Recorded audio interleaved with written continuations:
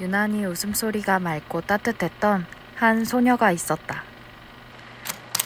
그는 익숙한 듯 어색한 익산에 7년 만에 돌아왔다. 오자마자 눈에 띈 것은 오래된 것들이었다.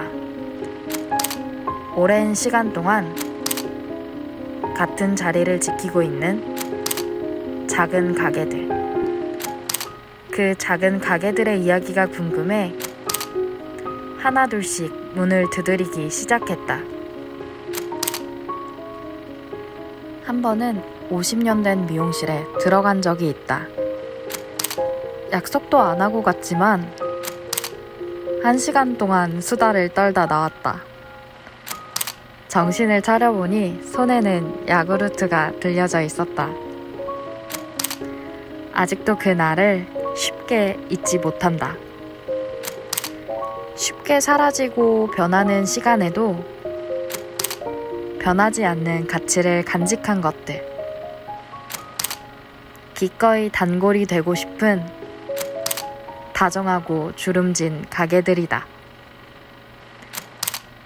익산 골목의 오래된 가게들은 때때로 파출 소이고 우찰국이고 은행이다. 누군가에게는 대나무 숲이자 은신처이기도 했다.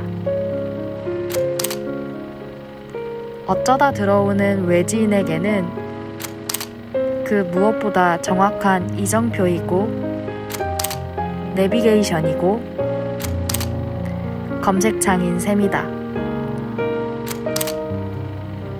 생활에 필요한 것을 만들고 파는 사람들이 우리의 곁에 이웃이었던 시절의 이야기다. 3대째 한결같은 마음으로 문을 열어온 가게. 매일 새벽 거리를 쓸며 하루를 시작하는 가게들을 들여다보면 그 꾸준한 삶에 대해 존경심마저 샘솟는다. 평범하고도 위대한 오래된 가게들의 주름진 역사. 손님의 안부를 살피고 덤으로 얹어주던 동네 가게들은 오래된 것을 바라보는 우리의 마음까지 돌아보게 만든다. 슬며시 피어나는 추억, 향수, 그리고 존경. 내가 오래된 가게를 탐방하는 이유는 주변의 밝은 이웃을 발견하기 위해서다. 서로 다른 것을 만들고 파는 노포의 얼굴과 목소리를 담아내기 위해서다.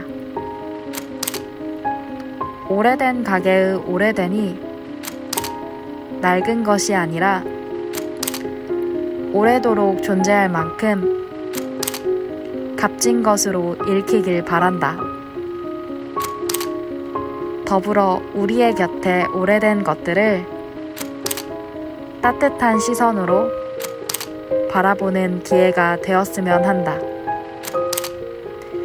오랜만에 찾은 익산을 반겨준 반가운 장소들이다.